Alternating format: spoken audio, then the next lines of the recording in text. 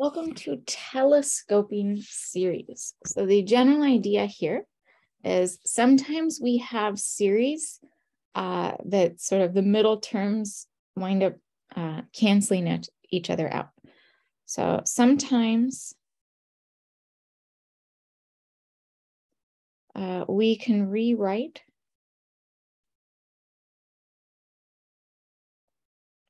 series in such a way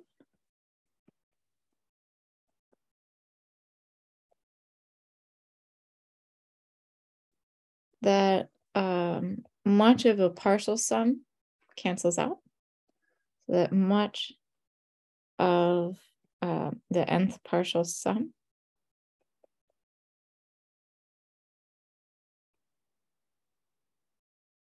cancels out. Um, therefore, making the nth partial sums fairly have simple formulas.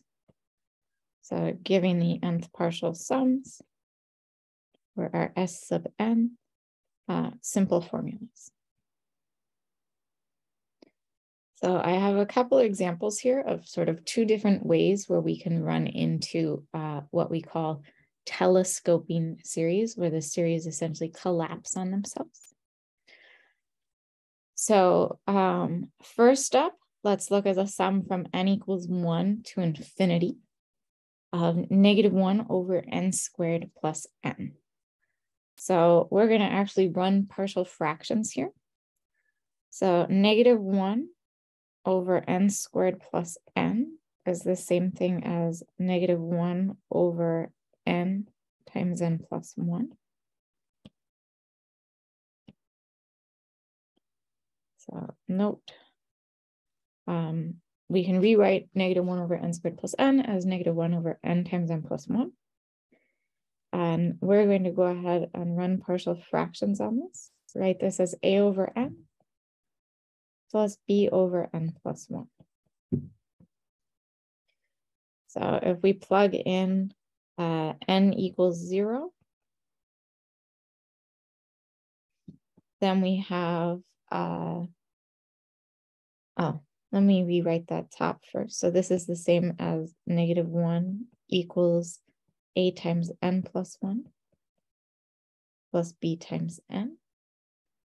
Plugging in n equals 0, then this becomes negative 1 is equal to a. Plugging in n equals negative 1, then we have negative 1 is equal to negative b and so we get that b must be equal to 1.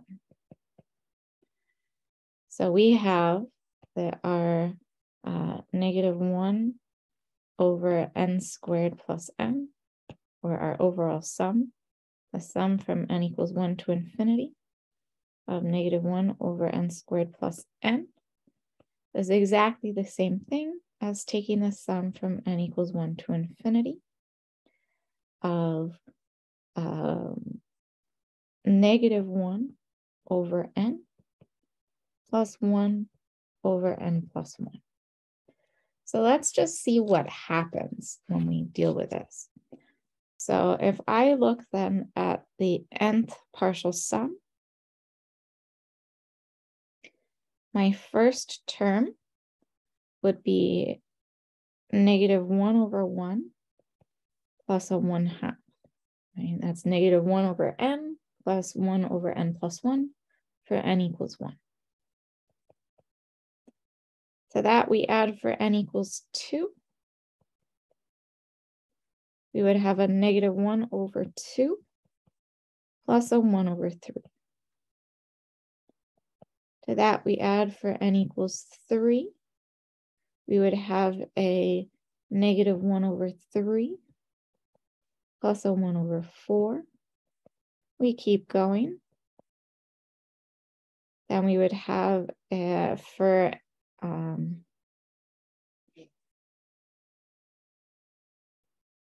n equals n minus 1.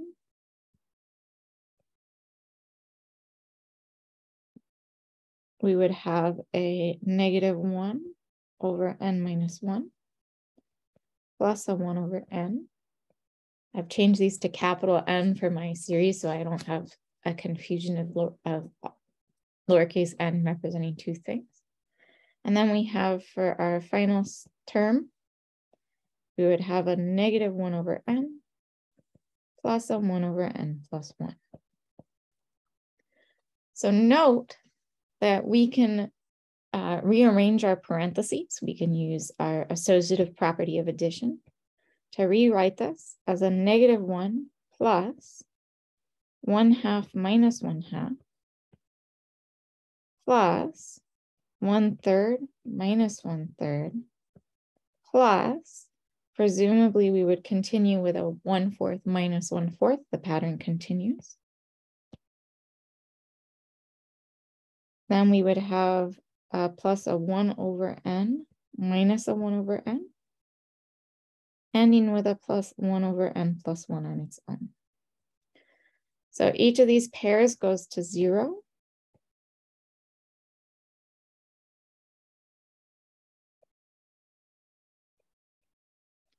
So we wind up just with a negative 1 plus a 1 over n plus 1.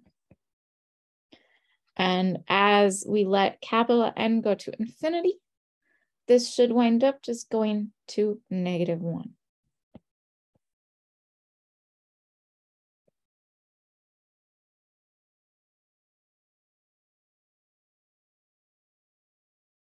And so this is a case where we converge to negative 1.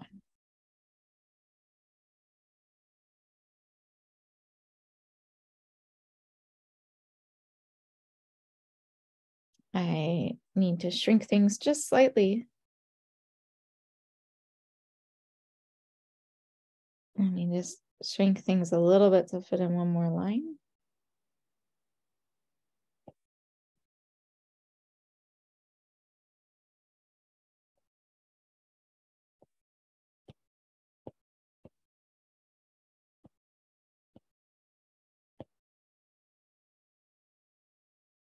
So we wind up getting, therefore, that um, the series converges.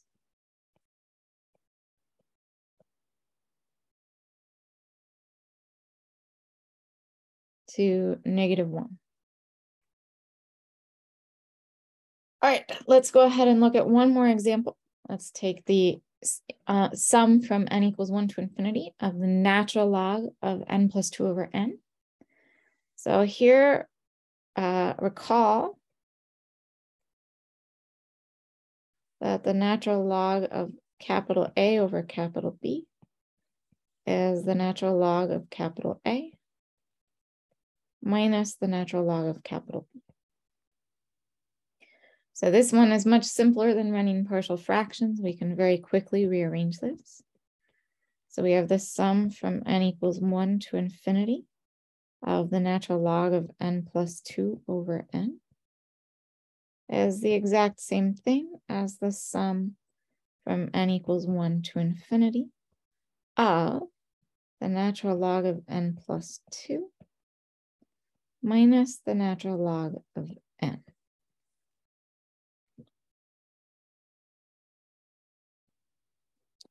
So if we write this out, we have that our S sub, uh, I'm going to do capital N again. Our S sub capital N is equal to, for N equals 1, we would have our first term would be um, the natural log of 3 minus the natural log of 1.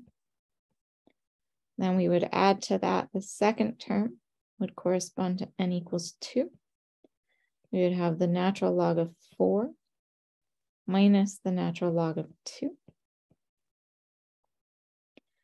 For n equals 3, we would be looking at the natural log of 5 minus the natural log of 3. For n equals 4, we would have the natural log of 6 minus the natural log of 4. We continue on. we would have for uh, n equals, let's do capital N minus um, two.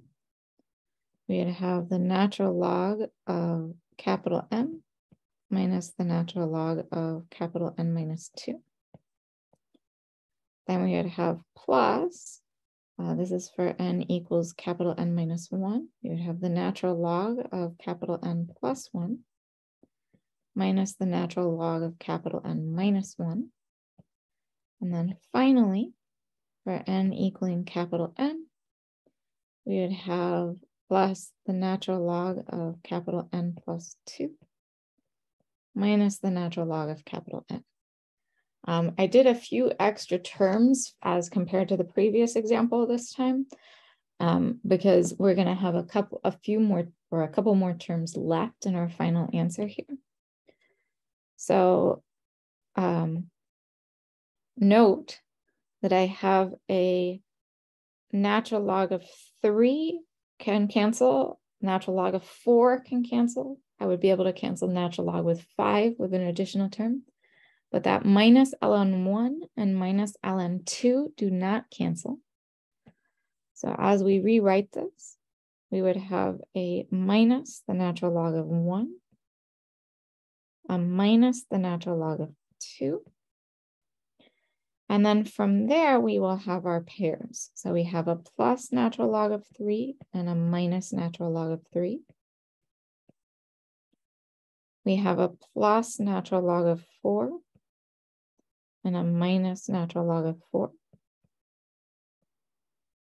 We keep going and we run into a plus. Um, we are, uh, let's see, we are able to cancel natural log n. Presumably, we would also be able to cancel our natural log n minus ones uh, with a term from the middle. But that natural log n plus one and the natural log n plus two will never cancel out. So the last thing to cancel will be a plus natural log n minus natural log n. And then we will have a plus natural log of n plus one and a plus natural log of n plus 2. So the natural log 3 minus natural log 3, natural log 4 minus natural log 4, natural log n minus natural log n all cancel out. We wind up with a negative natural log of 1 minus natural log of 2 plus natural log of n plus 1 plus natural log of n plus 2 as our formula for s of n. Of course, natural log of 1 is also just 0, so we could list that off as we uh, let that go away. Um, but in general, this whole thing will go to infinity as capital N goes to infinity. Right? Um, natural log of n, natural log of n plus 1, natural log of n plus 2, that all goes to infinity as, as n gets large. Um, and so what we have here then is that uh, the series diverges.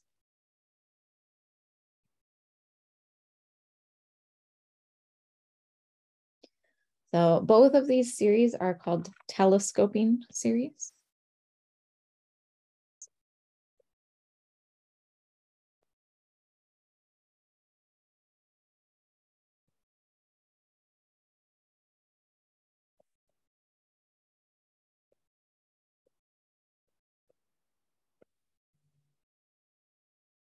Um, essentially our partial sums collapse in on each other, right? So the terms of the partial sums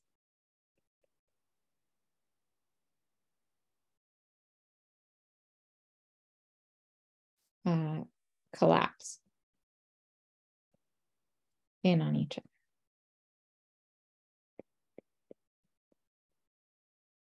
Right? You think about like the uh, they usually call it telescoping, right? When you have a telescope that you can extend out and then collapse in on itself. Um, so hence the concept. And as we saw here, telescoping series may or may not converge, right? Um, so as we saw in these two examples,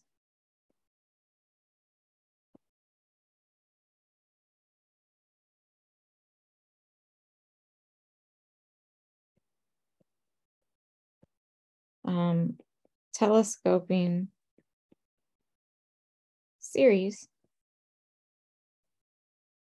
may converge or diverge.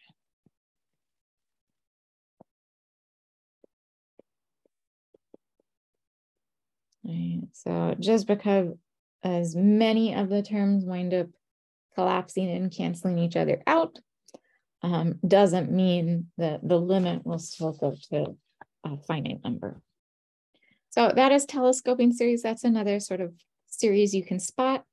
Um, the most common place where it's an easy spot is when we have natural log of something over something, because um, then we have our addition and subtraction. The other common place for telescoping series is with partial fractions.